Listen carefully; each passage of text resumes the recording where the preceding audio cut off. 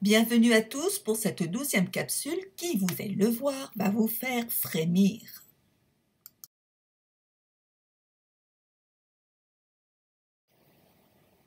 Nous allons jouer avec les mots qui parlent de la peur dans les récits. Es-tu décidé? Ton cahier de recherche est ouvert, ton stylo prêt à répondre aux questions. N'oublie pas de mettre sur pause pour te laisser le temps de bien réfléchir.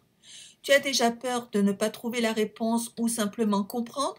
Pas de souci, nous reverrons tout cela en classe. Alors mettons-nous en route pour découvrir les mots de la peur.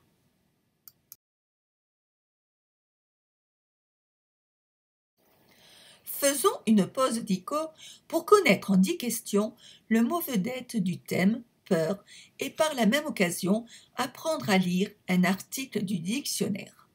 Écoute les questions et réponds sur ton cahier. N'hésite pas à mettre sur pause. Première question. Quelle est la nature du mot peur Un verbe, un adjectif, un nom, un adverbe Et quel est son genre Masculin ou féminin? Deuxième question. Quels sont les synonymes de peur Troisième question. Que veut dire le diminutif femme, F-A-M, que tu vois dans le cadre bleu Quatrième question. Que représentent les mots frousse et trouille? Question 5. Combien de sens a le mot peur? Question 6. Dans la phrase Théo a toujours peur d'arriver en retard, remplace a toujours peur le cadre rose par un synonyme. Septième question. Dans la phrase Il rentre les coussins à l'intérieur de peur que la pluie ne les mouille, remplace de peur que, le cadre jaune, par un synonyme. Quels sont les mots de la famille de peur présentés dans cet extrait du dico? Question 9. Quelle est la nature de peureux et peureuse? Et enfin, question 10. Quels sont les synonymes de peureux et peureuse et quels sont les contraires?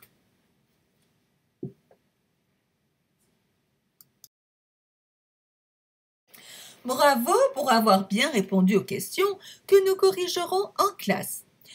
Pour notre premier jeu, qui va suivre, il va falloir que tu trouves le maximum de mots du lexique de la peur, y compris et surtout nos sept mots à mémoriser qui sont en blanc.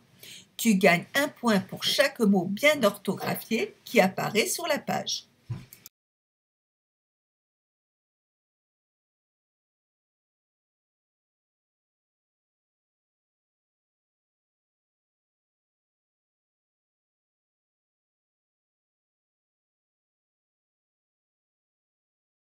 J'espère que tu as réussi à écrire les sept mots à mémoriser que voici.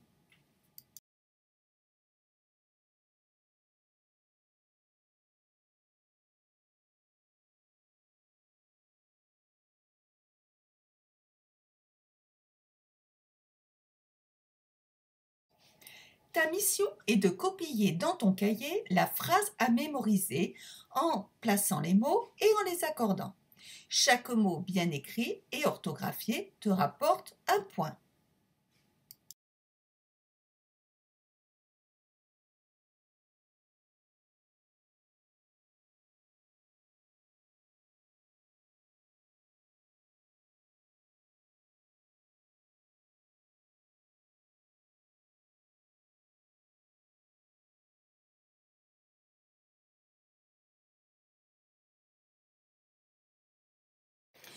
Tu as identifié maintenant nos sept mots vedettes, mais es-tu sûr de bien les connaître?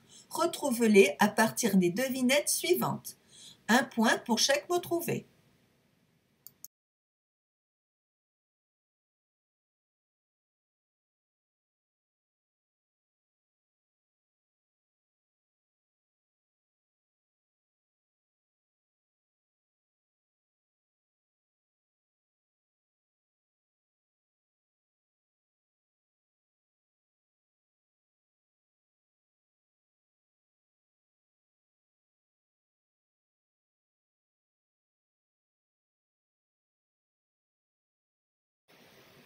Tu sais depuis toujours que les mots ont un genre masculin ou féminin.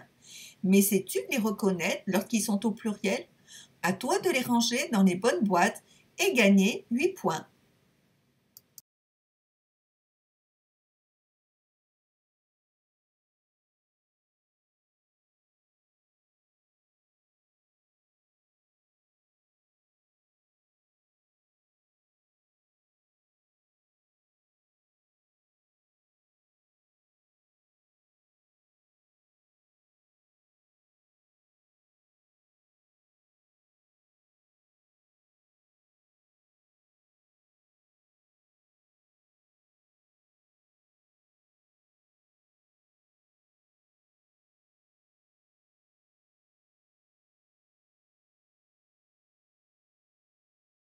Eh oui, ténèbres nous pose un petit problème. En fait, c'est un mot féminin, mais on l'utilise surtout au pluriel.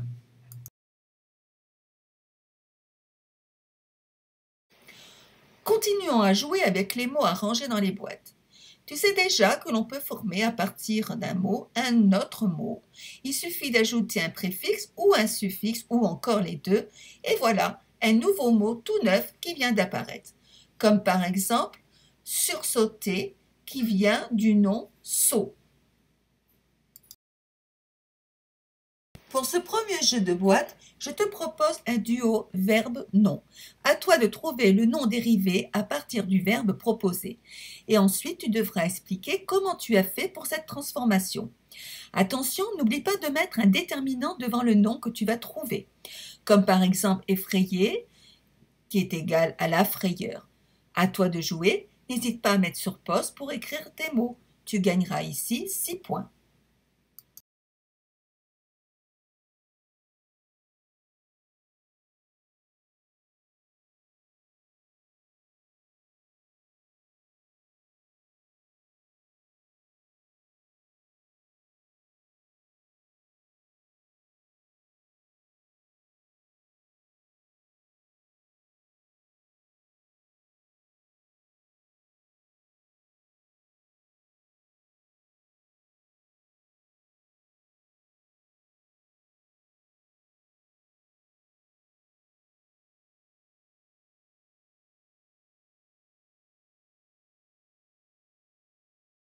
Voyons si tu as gagné les six points correspondant aux six mots proposés.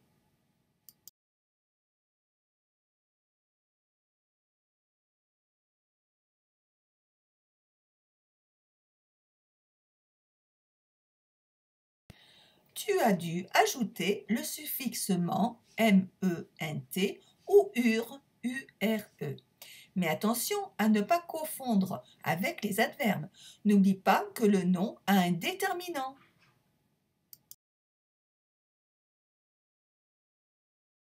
Tu as bien compris les règles maintenant. Place au duo adjectif nom. Trouve un nom à partir de l'adjectif et ensuite explique comment tu as fait. Attention, n'oublie pas de mettre un déterminant devant le nom que tu vas trouver.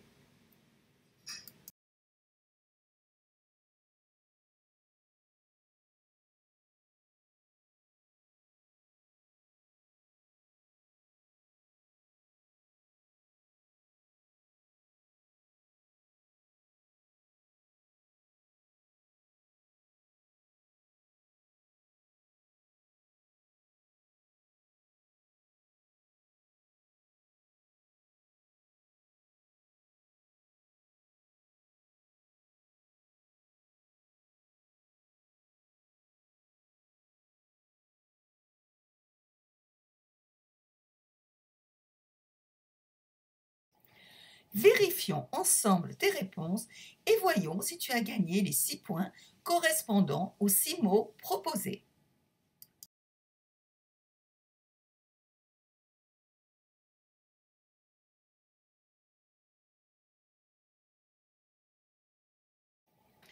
Tu as ajouté le suffixe IT. Nous remarquerons ici que ce sont des noms féminins et qui ne prennent pas de E à la fin et le E d'agile disparaît pour le I.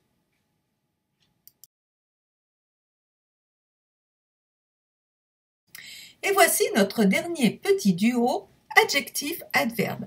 Les règles sont les mêmes. À toi de trouver l'adverbe à partir de l'adjectif.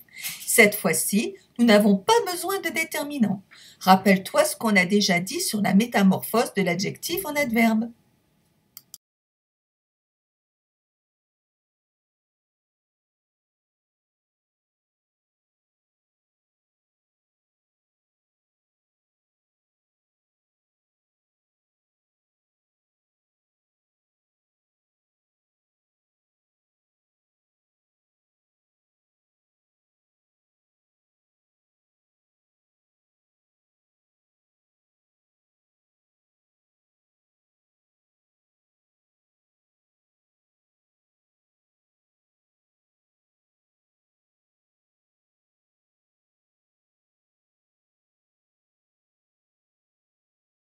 Je vous entends d'ici, c'est facile. Avec les adjectifs qui se terminent en E, il suffit de rajouter le suffixe ment, M-E-N-T. Voici donc les réponses et 6 points supplémentaires gagnés.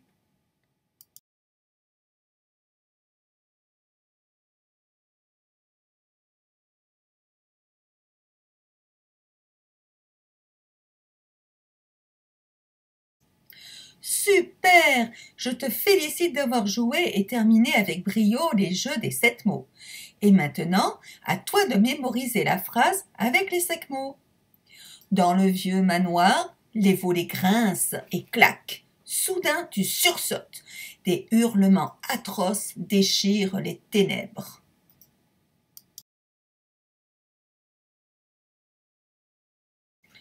À très bientôt.